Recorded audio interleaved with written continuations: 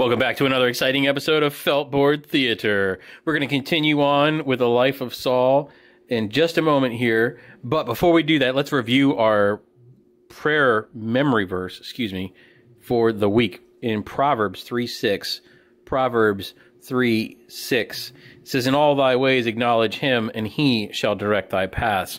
Now remember, this verse is trying to teach us that in everything that we do, we should be putting God first. And if we do, his promise to us is that he'll give us the right kind of guidance, he'll lead us in the right direction. So let's pick up again in our Bibles in 1 Samuel. Uh, we're going to continue on learning about King Saul and Samuel before we get to King David.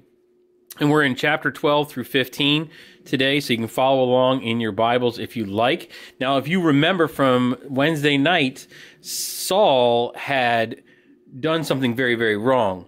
He had decided that he wasn't going to wait for Samuel to show up, and he was going to go ahead and sacrifice and do these uh, priestly duties uh, without waiting for Samuel, which was wrong. He should not have done that, and God punishes him.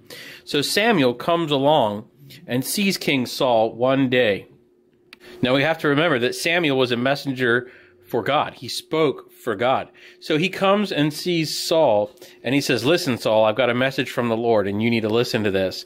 You are to go and entirely destroy the Amalekites. Now, he said, The people, the animals, every living thing nothing shall be left. Now, real quick, the Amalekites were a very wicked group of people. They tried to get rid of God's people many years before, and God took care of his people and promised that someday he would destroy the Amalekites. We see that in Exodus chapter 17. Now, that time had come, and Samuel went home, leaving Saul to carry out the commandment of the Lord. Soon afterwards, Saul and his army met the Amalekites on the battlefield, and the Amalekites, they were destroyed. They were completely destroyed, and Saul actually obeyed God's word. But the thing of it is, all was not well. It was not a great thing. The night after the battle with the Amalekites, Samuel, he didn't sleep a wink. This is his bed right here, and that's Samuel. And the word of the Lord came to him and it said he said i am grieved that i ever made saul king. He has not followed me. He has not carried out my orders. How had saul disobeyed this time? What did he do now? Samuel knew he would find out soon and he wept because king saul had once again disobeyed god. All night long he cried to the lord. And even though he knew that saul was wrong samuel still loved him God's love for you and me is just like that, boys and girls. God knows we have sinned. He knows about the wrong things that we do. And the Bible tells us that we are all sinners. Romans 3:23 says for all have sinned and come short of the glory of God. But the Bible says that God showed his great love toward us by sending the Lord Jesus Christ, his son, to shed his blood, to die for us while we were still sinners. That's we see that in Romans 5:8. How wonderful is God's love towards us. The Bible tells us that early in the morning Samuel got up and went to find Saul. He found that Saul had built a monument to himself. Look at that thing. Look how big that is. It's off in the distance there. This may have been something like a, a big pillar or maybe a statue. You know, this is just a, a little illustration here, but it was an honor in honor of his victory over the Amalekites. Samuel was saddened more than ever by the sight of that monument. It told him of the pride in the king's heart. So here he comes. hey, uh, anybody uh, seen my monument? Yeah, it's pretty nice, isn't it? Uh... I'm sorry, that was a silly voice, but pride is silly, isn't it? So Saul came out to meet Samuel. The Lord bless you, Saul said. I have completely obeyed the Lord in all that he told me to do. Samuel's sad eyes seemed to look right into Saul's proud heart. If you have completely obeyed the Lord about the Amalekites, then why do I hear the bleating of sheep and the lowing of cattle? So that's just, he, in other words, he hears the animals in the background. Now remember, God told him to destroy everything. Saul, God told you to destroy everything. That includes the cows and the sheep. Saul didn't even seem bothered by the question, though. He looked Samuel straight in the eyes. Why, these are the best of the sheep and cattle from the Amalekites. The people, my army, spared the best of the sheep and the cattle to bring an offering to the Lord your God. We have destroyed all the rest.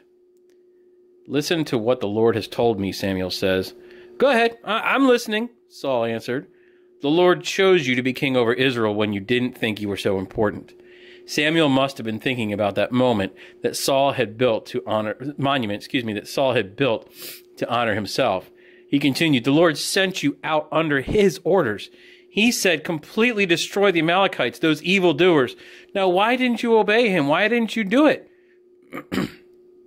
well, Saul was proud, and he refused to admit his sin of disobedience. Not only was he disobedient, boys and girls, but he was also dishonest. He lied when he said that he destroyed everything, even though he clearly had not done all that God had told him to do. It's a very, very, very serious thing not to agree that we are wrong when the Lord points it out to us. The Lord can neither save nor bless us if we don't admit that we've done something wrong, if we don't admit that we've sinned. Saul replies to Samuel, he says, I, did listen to the Lord's voice. The only person whose life I spared was Agag, the king. It was the people who took of the best sheep and cattle. It's their fault. I told you that they brought them for the sacrifices, he said. Saul did what a lot of us often do when we get in trouble. He um, he blamed somebody else for his faults. It was their fault. They're the ones who did it. It wasn't me. I was trying to be obedient. They made me disobey God. So Samuel responds, and his eyes must have been full of tears when he saw everything that King Saul had done, how he had disobeyed God, how he had even brought back the king alive. And it was the custom of the winning army to show off the captured king as a war trophy. So, more pride, hello. But these were God's people. God gave them all of their victories. It wasn't Saul. There was no room for pride here. There was no place for showing off. Saul, Samuel says, do you think the Lord delights as much in burnt offerings and sacrifices as in obedience? Look, obedience is better than any sacrifice you can offer to the Lord. To listen to God is better than the very best sheep you could ever offer him. And instead of acknowledging God and following his direction, Saul decided to go his own way. But God wasn't satisfied with that. Samuel turned to Saul and said, because you have rejected or refused the Lord's word, he has rejected you from being king. Wow. When Saul heard again that he was to be rejected as king, he was very, very sad. But he was not sorry about his sin. Listen, if we want God to forgive us, we have to actually be sorry about the sin that we've committed and we have to turn away from it. That's called repentance. So Saul says, Well, I have sinned. I did wrong in disobeying the Lord's command and your order. It was wrong to listen to the voice of my people. Now pardon my sin and go back with me, and I will worship. I will worship the Lord. Samuel knew that Saul did not mean what he said. He knew that Saul was more interested in what the people thought of him than what God thought about him. Oh man, that sounded good, didn't it? I hope they bought it. You think they believed him? You think they believe me, boys and girls? I hope they do. Ah, maybe maybe I can trick God and fool him too. Samuel looks at him, and again, he must have been heartbroken. He said, I will not go with you. I have told you that the Lord has rejected you from being king. I've sinned, Paul or Saul said again. Please, please do honor me before my people, and I will worship the Lord your God. Sadly, Samuel went with Saul. He saw Saul pretend to worship the Lord. That very day, Samuel, Saul's best friend, left and never visited him again. But he still grieved and prayed for proud King Saul. Boys and girls, very quickly, God expects us to obey him and to do exactly what he asks us to do. That's what he wants us to be. And, and, and that's what we should be doing. Just like when your mom or your dad or your your grandparents or some other family member tells you to do something and they give you specific instructions on what to do, they expect you to do it the way they asked. If your mom tells you to, you know, go ahead and pick up your dirty clothes off the floor and put them in the hamper, if you just pick them up off the floor and throw them into a closet or throw them into the corner of your room or hide them under the bed, that's not doing what your parents asked you to do. That's not doing what mom said. That's doing what you want to do. And our verse, our memory verse for today is to put God first. Remember that? We want to put God first. And one of the best ways that we can do that is being obedient to Him, to do what He's asked us to do. And boys and girls, I want you to understand that God loves us and He cares about us and He wants the best for us. And so it should be easy for us to obey Him. Just like we know that mom and dad want the best for us, it should be easy for us to obey them.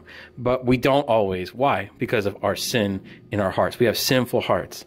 And that's why we need to be strong. We need to resist the temptation to do wickedness, to do evil, to disobey and do the right thing. When that temptation to not do what we've been asked to do by God or our parents or teachers or pastors or teachers somewhere, you know, in Bible, uh, excuse me, in Sunday school, instead of resisting what they ask us to do, we should do what they've asked us to do, knowing that it pleases God. I hope this was a blessing to you, boys and girls. I miss you. I'll see you soon. Join us again Wednesday night for another exciting edition of Feltboard Theater.